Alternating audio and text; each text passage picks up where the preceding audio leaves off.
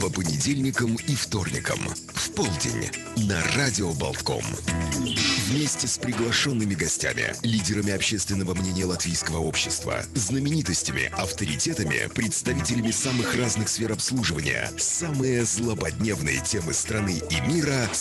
Участие слушателей обязательно. Звоните в прямой эфир, задавайте интересующие вас вопросы на Facebook и WhatsApp. Дискутируем, обсуждаем, делаем выводы. Разворот. Добрый день, уважаемые радиослушатели. В эфире радио Болтком и программу «Разворот» сегодня проведу я, Артем Липин, за звукорежиссерским пультом Родион Золотарев. И сегодня с нами на связи по Зуму директор Государственного центра доноров крови Эгита Полуэс. Здравствуйте. Здравствуйте. А, телефоны прямого эфира у нас неизменны. 67 212 93 9, 67 213 93 9. Также пишите нам по WhatsApp 230 61 91.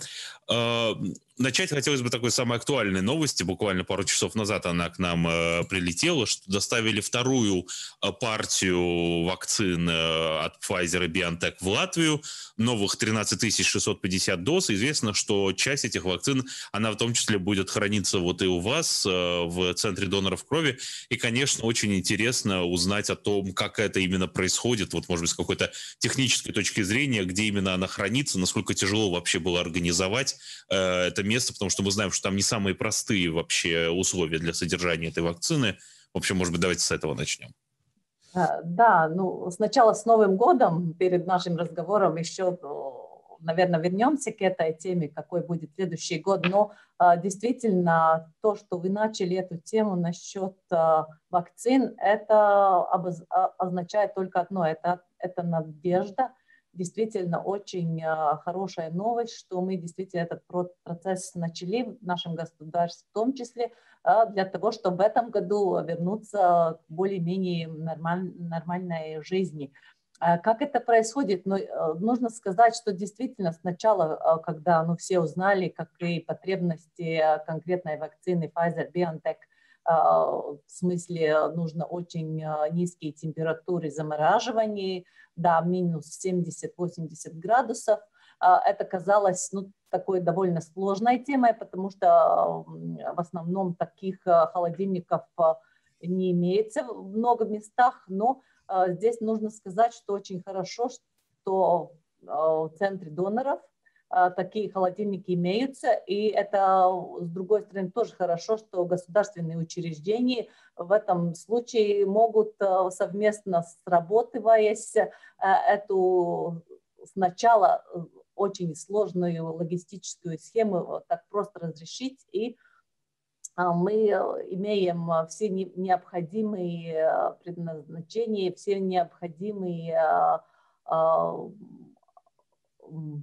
спроса на температуру, который нужно для этой вакцины, чтобы мы могли эту вакцину принять и тогда уже распределить по медицинским учреждениям для вакцинации. И так это и происходит. Мы уже две партии э, получили. Первая была 26 декабря прошлого года, и э, вторая партия была, была этим утром и уже все э, вакцины э, распределяются и поедут уже э, на больницы на завтра, послезавтра и ждут медиков, которые первым рядом будут вакцинированы. Но это, я так понимаю, дополнительная нагрузка получается для работников центра, ну, потому что это все-таки новые функции, которые до этого на вас не возлагались. Да, но для всех медиков нужно сказать, что э, этот период дополнительная нагрузка, и мы, э, с другой стороны, тоже рады, что мы могли тоже дать еще свое, свой дополнительный вклад, э, вклад, чтобы как-то помочь эту очень тяжелую ситуацию с ковидом в государстве э, разрешить и как-то помочь. Это действительно все сплочаются и все помогают и работают вместе. А насколько, может быть, вам известно, мы говорили, что первые эти поставки, они еще такие э, экспериментальные, потому что, понятное дело, такого не было. Ну, в том плане, что сама эта схема еще не была налажена, и вот это как бы была такая проверка этой всей логистической цепи. Насколько сейчас уже можно говорить о том, что уже все налажено и будет работать там раз в месяц или раз в сколько-то недель э, поставки будут приходить, и это уже четко распланированная операция? Э, я думаю, система уже была налажена с первого дня. Конечно, это было ну, а какое-то ожидание, как это будет, как это все начнется, но в принципе уже центру доноров э, опыт насчет э, соблюдения такой цепи замораживания и таких всех потребностей, которые имели вакцины, уже имеется. И думаю, что Э, работая вместе с другими учреждениями, с Центром профилактики здоровья, который дает э, списки, э, сколько вакцин на каждую больницу нужно, с Национальным центром здоровья, который организует оплату производителю этих вакцин, и мы, которые распределяем эти вакцины, это все очень хорошо уже сработалось, и я думаю, так и в будущем будет работать. И, наверное, последний вопрос уже, можно закрыть эту тему э, и может переключиться к другим. Э, по поводу по, по поводу спроса на вакцину, мы знаем, что если они поставляются, эти вакцины в больницу, они должны быть использованы уже там в ближайшие два дня, потому что не во всех больницах есть возможность вот эти все условия сохранять необходимые. Э, и поэтому вы, вы, наверное, среди тех, кто первый знает, насколько вообще велик спрос на эту вакцину, потому что были опросы, что не все врачи, не все сотрудники медицинские работники готовы еще пока согласны себе делать эту вакцину. Вот насколько вы видите, что все-таки э, спрос есть и практически там, может быть, уже первая партия израсходована?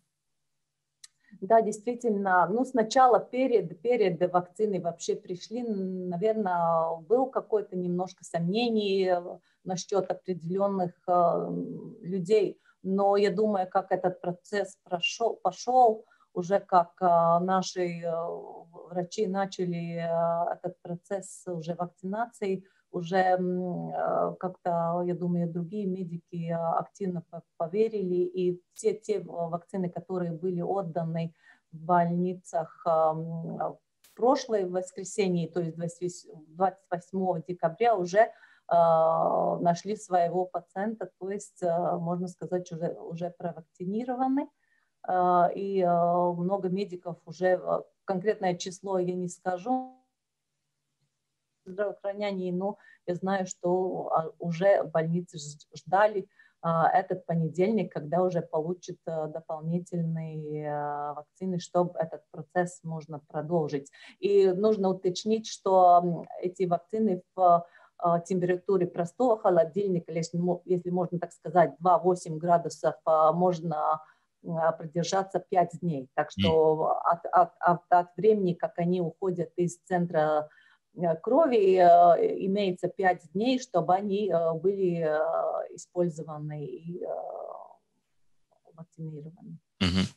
Uh, да, ну тогда перейти, перейти к такой уже более традиционной, наверное, теме. Uh, мы знаем, что до праздников в декабре появилось uh, какое-то количество новостей о нехватке крови, при том какие-то какие группы крови, они действительно были в большом дефиците.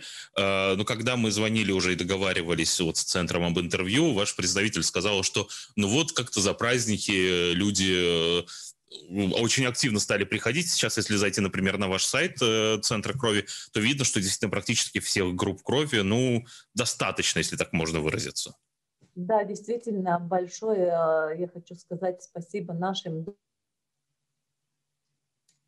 быть донором, мы знаем, но поддерживая донорскую э, систему, э, которые действительно окликнули, окликнулись на нашей информации, что не хватает какой-то конкретной группы крови, и э, пришли действительно в декабре очень много, потому что в ноябре, в октябре, когда начал, начался эта вторая волна COVID-19 а, заболеваний, нам ну, действительно было очень ну, как-то не по себе, потому что мы боялись, что прирост заболеваемости в обществе понесет за собой понижение числа доноров и ну, связано с тем тоже к число компонентов, которые мы можем подготовить и помочь нас, нашим пациентам. И поэтому мы позвали наших доноров, и, наверное,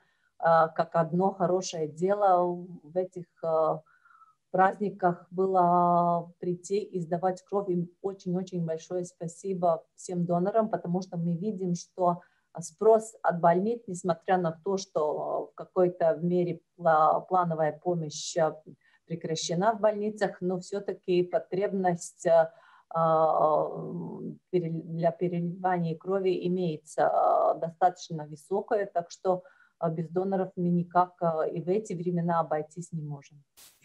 А, но это вообще, если сравнивать с предыдущими годами, это обычная история, что в декабре, вот перед рождественскими праздниками, может быть, что увеличивается поток доноров? Или это именно в этом году действительно реакция на такой призыв и острую нехватку?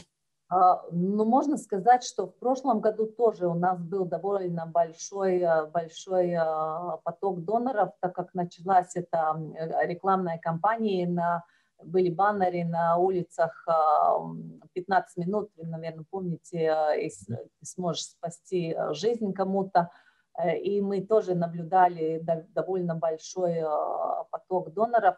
Но этот год был очень специальным, потому что ну, мы, это была реальность, что уже в марте, в апреле месяце, что донорский поток доноров снизится очень а, серьезно, так как ну, был вообще такой а, первый такой локдаун, теперь можно уже как-то мы освоились а, к, этому, к этим принципам жизни, но это весной это было очень серьезно. И тоже благодаря нашим отзывчивым донорам мы этот год тоже ну, закончили только немножко, ну, если можно сказать, 5% а, ниже число доноров, чем в предыдущем году, которое считается очень высоким потоком доноров, несмотря на то, что была такая кризисная ситуация в государстве, когда можно говорить, ну не до того, а, как прийти и сдавать кровь, но наши доноры все-таки откликнулись и пришли. В других государствах а, так не наблюдалась ситуация, насколько мы знаем. И еще раз, ну, за это нашим донорам большое спасибо. То есть можно сказать, что латвийские доноры одни из самых отзывчивых? Да, это, это, это очень стабильно, можно сказать. А, а вот понятное дело, что ковид уже с нами почти год, и ну, так как мы интервью тоже с вами достаточно давно не было, если с чисто практической точки зрения, ковид-19, что он поменял в работе э, лабораторий и там пунктов приема крови, э, что изменилось? А, ну, конечно, мы тоже были обязаны а, соблюдать э, все меры предосторожности. Во-первых, нам нужно быть э, уверенными, что наш донор здоров. То есть проверить доноры перед э, сдачей крови, не имеется ли температуры, и это каждое интервью, интервью с потенциальным донором перед сдачей крови – а, чтобы ну, мы были уверены, что донор действительно на этот момент сдачи крови а, здоров. А, с другой стороны, мы очень описались, чтобы здоров был наш персонал, не только потому, чтобы не как-то не заразить наши доноры, но и чтобы были здоровыми и могли а, продержаться этот период и принять а, доноров и подготовить а, необходимые компоненты для уже сдачи пациентов, сдачи пациентов в больницах. И нужно сказать, что действительно мы это, это все очень хорошо освоили и исполнили, потому что наш персонал действительно здоров, а, и соблюдает все необходимые меры предосторожности. А, мы входим в масках без вопросов уже с начала, с начала октября, и это тоже, наверное, давало какой-то результат. А, у нас не было никаких таких заболеваний. Ну и тоже смотрим на доноры и очень тщательно их проверяем перед сдачей крови. Ну, нужно уже сразу говорить, это мы уже не, рад, не однако говорили, что COVID-19 а, кровяным путем не переносится. То есть никакой, никакой опасности для донора или пациента, потенциального пациента а, нет, но донор должен быть здоровым на момент сдачи крови, то есть без температуры. А, про вот это не передается крови. То есть теоретически, если даже там какая-то система безопасности не сработала, а, кровь от ковид-инфицированного человека здоровому человеку не передаст ковид-инфекцию? Не передаст. Э, весь год имеется наблюдение насчет этого уже в январе-феврале месяце уже в Восточной Азии, где начался ковид, уже там много были всяких расследований, и это никак не подтвердилось.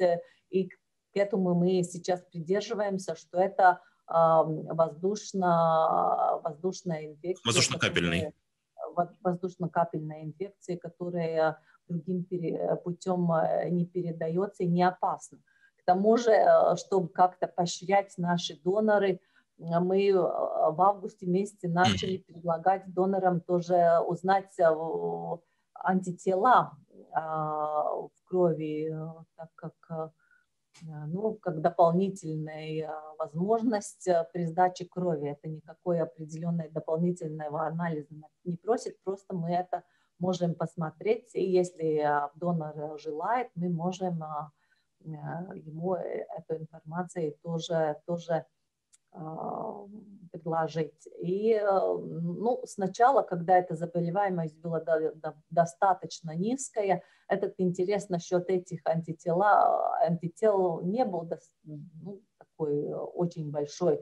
Но теперь мы уже видим, что многие доноры, и поэтому приходят, это был какой-то, ну, такой наводящий фактор, который тоже повлиял, чтобы донор пришел, и помимо такой, такого хорошей, такой хорошей работы, сдачи крови, еще и узнал что-то для себя.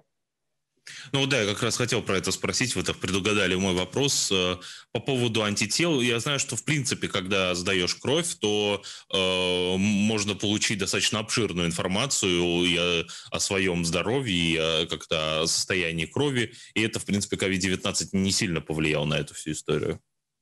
Нет, нет, COVID-19 э, не повлиял. Ну, и перед COVID-19, э, сдавая кровь, каждая, каждая кровь, каждый донор проверяется перед э, уже эту кровь дать на использование и переливать с пациентом, проверяется на четыре инфекции, то есть гепатит Б, гепатит С, ВИЧ-инфекция и сифилис. И это мы проверяем, и если там где-то положительный результат, тогда этот компонент уже э, дальше не идет, если можно так сказать. И мы даем информацию потенциальному э, этому донору, что мы наблюдали такой, э, такую инфекцию. И эм, так как мы не окончательное диагностическое учреждение, пациента мы призываем идти к своему семейному врачу или к врачу-специалисту и уже там а, тщательно проверять свое здоровье еще раз. Кстати, вот по поводу ВИЧ меня тоже интересовало всегда. Мы знаем, что Латвия, э, к сожалению, является такой страной антирекордсменом в плане распространения инфекции ВИЧ. Если сравнивать с другими странами Европы, у нас достаточно широкое распространение этого заболевания. Э, насколько вообще часто, не знаю, вы находите таких людей, которые не знают, может быть, о том, что у них есть вот этот вирус, и э, что именно от вас они узнают эту информацию? А, ну, э, можно сказать, бывают такие случаи в течение года, но это пару, пару случаев, э, меньше десяти, но больше мы э, узнаем гепатит С, гепатит В. Да. Ну, можно сказать, что ВИЧ-инфицированный ну, как-то не имеется среди потенциальных донор, доноров много, хотя правильно, как вы говорите, в нашей популяции – все-таки э, имеется эта инфекция довольно распространена. Я напомню, что с нами на прямой связи директор Государственного центра доноров крови и агитопола и телефона прямого эфира 67 212 93 9. Звоните или пишите по WhatsApp 230 61 91. Опять-таки, честно говоря, не знаю, есть ли у вас эта информация или нет, но, э, может быть, вот вы замечали, насколько часто доноры, э, среди доноров, э, какое, какое количество людей, тех, кто повторно сдают кровь, а какие все-таки там приходят один-два раза? Или просто из моих знакомых, которые достаточно часто сдают кровь, я наблюдаю, что это именно постоянная такая история, что мало кто сдает один раз. Если уж начинаешь, что пытаются повторять это с какой-то периодичностью. Э, да, действительно, нужно, нужно только начать, как мы говорим. А если уже один раз пришел, и этот э, процесс дачи крови был, был э, успешным. Хорошим, успешным для конкретного донора, тогда обычно уже доноры к нам возвращаются. И это наша основная цель привлечь, привлечь новых доноров и ну, как-то привлечь их прийти еще раз и уже стать постоянными донорами, потому что постоянный донор – это ну, самый хороший донор, если можно так сказать. Uh, у нас вот только что был телефонный звонок куда-то. Вот он снова появился. Давайте примем телефонный звонок от слушателя. Да, здравствуйте. Доброе утро. Вы знаете, во многих странах, я знаю, применение крови-заменителей очень широко распространено. У меня знакомая пара человек, которые хотели перед операцией, вернее, написали бумагу, чтобы им крови-заменители вместо крови вливали. А врачи на это очень неохотно идут. А у нас что, проблема с крови-заменителями или как? Спасибо. Спасибо. Вот такой интересный вопрос. Да, это, это спасибо за вопрос. Это очень специфичный и уже, ну, можно сказать, вопрос э, в сторону больше э, лечащих медиков. Но, в принципе, нужно сказать так, что искусственную кровь еще никто не, не придумал, не создал. И это основная, наверное, проблема, которую мы видим в будущие года все-таки а, разрешена не будет. А, это, ну, тоже я уже всегда это говорю, это уникальный феномен а, наш, нашего организма, что ну, этот эритроцит, который снабжает наш организм кислороду, он настолько уникален, что никак не, не удается синтезировать синтезировать э, э, искусственную кровь. Но насчет крови заместителя, конечно, если есть возможность э, как-то обойтись без переливания крови, то есть есть определенные медикаменты, которые можно использовать вместо плазмы, например, или, или или как-то, чтобы заменить тот потерянный объем а, циркулирующей крови, который при каких-то обстоятельствах человек потерял, то это делается. И, а, и кровь все-таки переливает только в крайне необходимом случае, если, если а, ну, нет другого выхода. Я думаю, что э, все медики уже ну, осознают, что это все-таки пересадка тканей это довольно-довольно сложный и серьезный процесс, и если можно как-то обойтись без этого процесса, тогда это и делается. Например, при больших и планированных операциях, ну, например, на сердечно-сосудистой системе, на сердце э, имеется так, такой self-saving система, которая собирает кровь э, самого пациента – и обрабатывая, пациент получает эту кровь обратно. Это а, самый лучший вариант, как, а, как ну, поддержать этот процесс при потере большого объема крови, который имеется при сложных операциях.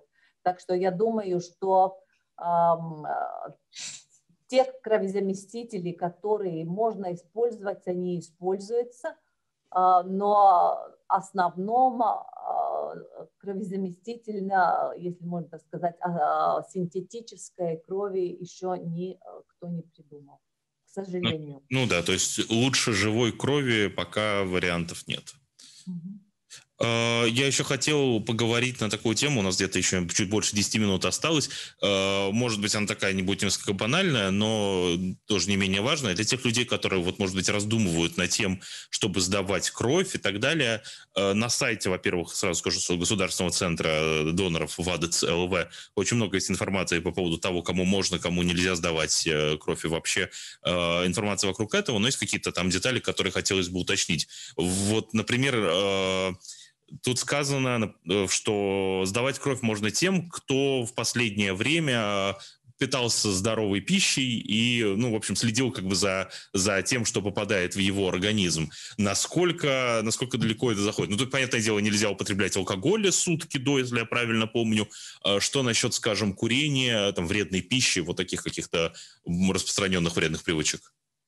А, ну, конечно, мы а, это как-то хотим поощрять, чтобы все люди всегда и без сдачи э, крови питали здоровой пищу и не потребляли через чайно много алкоголя, не курили.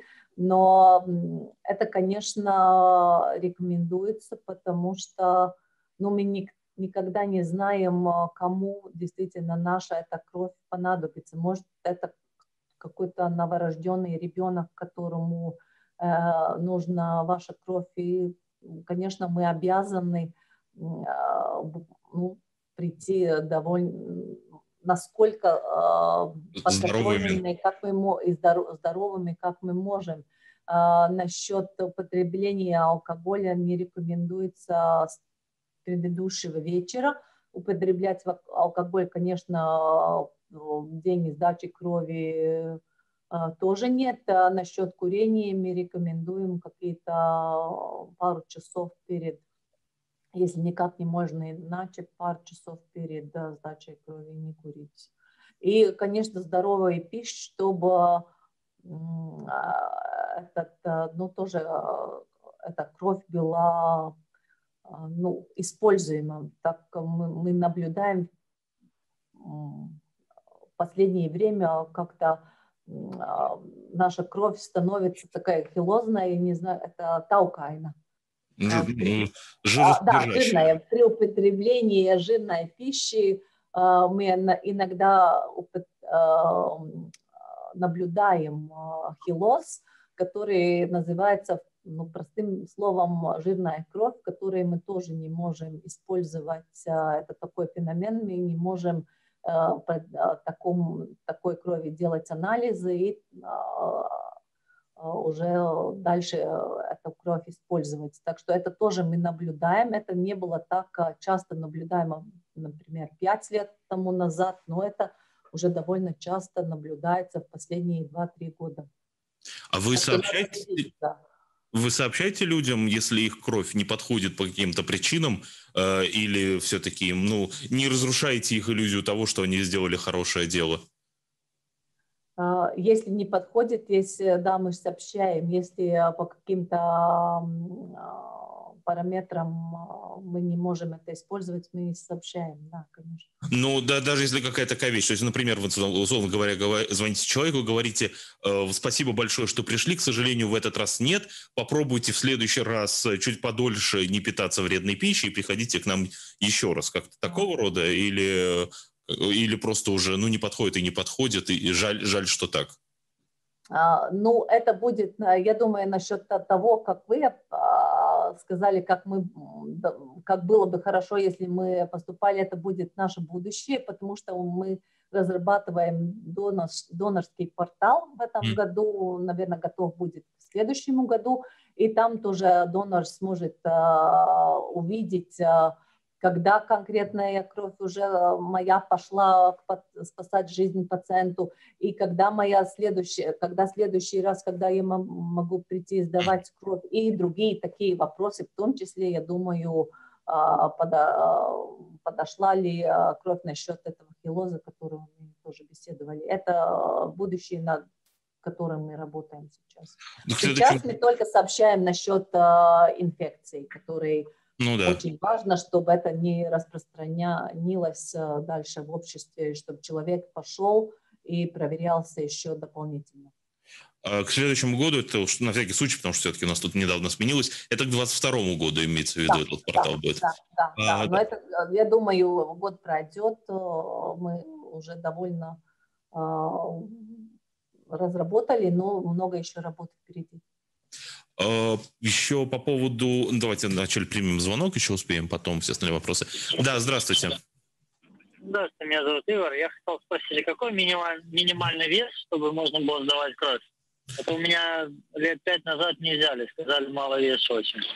Спасибо. Ну, на сайте написано 50 килограммов. Я да. так понимаю, что это и есть такой стандарт. Да, 50 килограммов.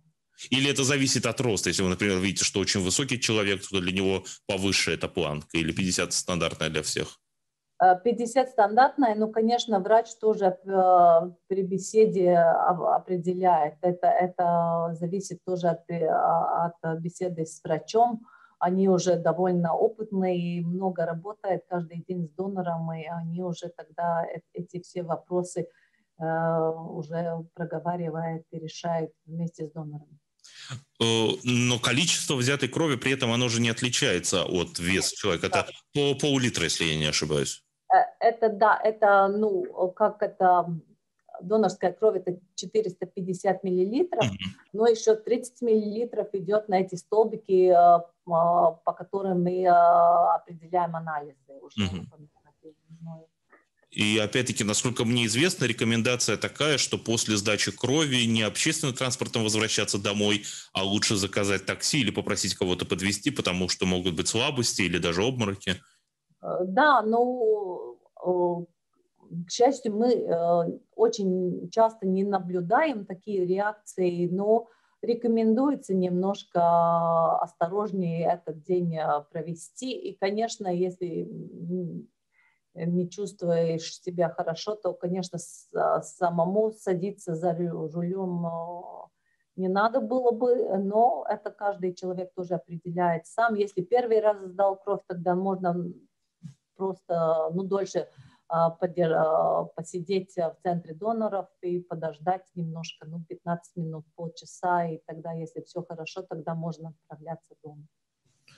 Еще такой вопрос, это уже как мое, мое, мое личное любопытство. Когда я вот готовился к интервью, читал э, все показатели, почему можно, почему нельзя, отметил, что не рекомендуется сдавать кровь или даже нельзя сдавать кровь людям, которые жили в Великобритании с 80 по 96 год дольше, чем 6 месяцев. А почему? Что, что такого произошло в Великобритании?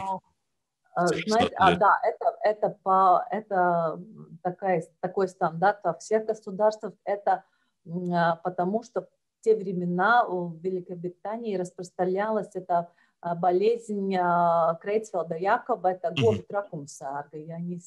Ну, бешенство. Да, да, да, это, это кровен...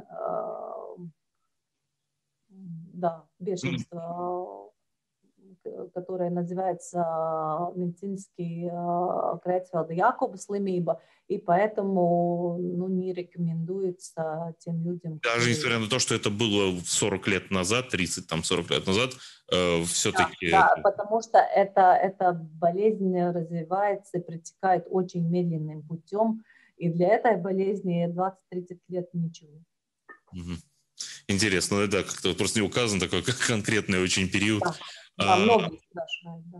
Вот. Ну и тоже не могу не спросить, я, я все-таки думаю, что для доноров это, наверное, в, в меньшей степени важно, но мы вот говорили о том, что люди, которые сдают кровь, они получают там бесплатный анализ своей крови, в том числе теперь еще на антитела. Есть ли еще какие-то э, ну, какие-то бонусы от того, что сдаешь кровь?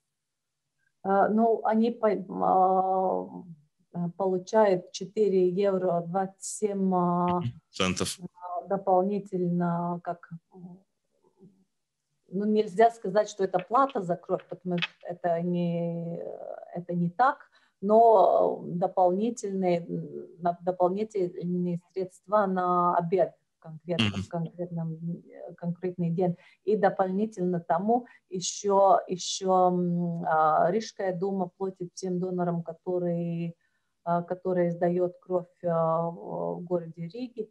А, транспортная компенсация – это евро 20 еще каждому донору. То есть 45-47 получается, если сдаешь в конкретные места в Риге. Кстати, по поводу... И другие самоуправления тоже могут иногда всякие бонусы для своих доноров используют и дают. По поводу как раз рижской поддержки я хотел спросить, потому что тоже вот пару дней назад появилась новость о том, что Рижская дума планирует потратить сколько-то там э, сотен тысяч евро на обеспечение доступности медицинских услуг, и в том числе среди всей этой суммы 25 тысяч евро э, уйдут на поддержку движения доноров крови. Да. В целом, вот поддержка самоуправления, поддержка государства, насколько вы ее ощущаете, насколько ее хватает, и чего бы вам, может быть, больше хотелось в плане вот именно господдержки, чего не хватает? Нет, я думаю, что поддержка от самоуправления очень у нас хорошая. И то, что мы э, от, государства тоже, потому что мы государственные учреждения, ну получаем непосредственно средства для своей работы от государства, а, но местные самоуправления в новом году я бы пожелала не бояться и пригласить э, наши а, выезды а, донорских автобусов к себе, а, потому что выезд ближе к донору – это наш основной механизм, как мы можем привлечь больше доноров. Мы приезжаем к вам на, на учреждения, на местные самоуправления и вне Риги тоже это очень э, хорошо, и там очень отзывчивая донорская публика, так что э, это мы можем только желать, чтобы местные самоуправления тоже нам дали места, где мы могли бы проводить эти донорские дни конкретно уже и принять в этих местах, в библиотеках, в школах, учреждениях самоуправлений и других учреждениях, где мы тогда делаем свои донорские дни. А выезд, получается, это все-таки инициатива должна быть самоуправлений. Это не вы говорите, что вот мы можем к вам приехать, и к вам это все-таки... Э, э, обои. Э, эта инициатива может идти из обоих сторон. Мы, конечно, звоним сами, но в основном наша просьба не отказать эти, эти донорские дни, потому что были в, этом, в этой осенью такие случаи, когда как-то мы видели, что самопроявление или все там закрыто, ну, по э, э, сути дела в этой ситуации, или как-то бояться, как же это же будет э, собирание людей, да. Людей и так. Но это, конечно, очень важная функция, это никак не может прекратиться. Даже, мы, даже если бы был вообще общий локдаун, донорская это дело никак не может прекратиться, потому что ну, без этого наши пациенты никак не могут выжить. А вы как-то, вот, и, не знаю, понятно, что внутри самой этого там э, станции э, приема крови, там вся эта дистанция соблюдается, система безопасности, над организацией пространства вокруг, там очереди, если создаются какие-то, или в этом роде. По этому поводу а... работаете или это уже самоуправление? Да, мы, э, мы э, тоже призываем доноры прийти по зап. Если мы едем в учреждение, тогда доноры уже, там организатор со стороны учреждения уже делает э, очереди или доноры уже ложатся по запису, приходят. И если ну, никак нельзя быть очередями, если э, очереди у, нас, у нашего мобильного автобуса, тогда уже э, летом и осенью было 2 метра, и там кресло стоит, где может донор сидеть, и дистанция соблюдается а, по 2 метра, ну, как это полагается. Так что, ну, это все можно решить и планировать, конечно. Нужно только хотеть. Спасибо большое. К сожалению, наше время подошло к концу. Э, в общем, наверное, в конце призываем всех наших слушателей, у которых есть такая возможность э, и по состоянию здоровья и желания, сдавайте кровь, ее никогда не, никогда не бывает слишком много. А с нами на прямой связи была директор Государственного центра доноров крови Эгита Пола. Спасибо большое. Нам пора заканчивать. Спасибо, что слушали, и не переключайтесь.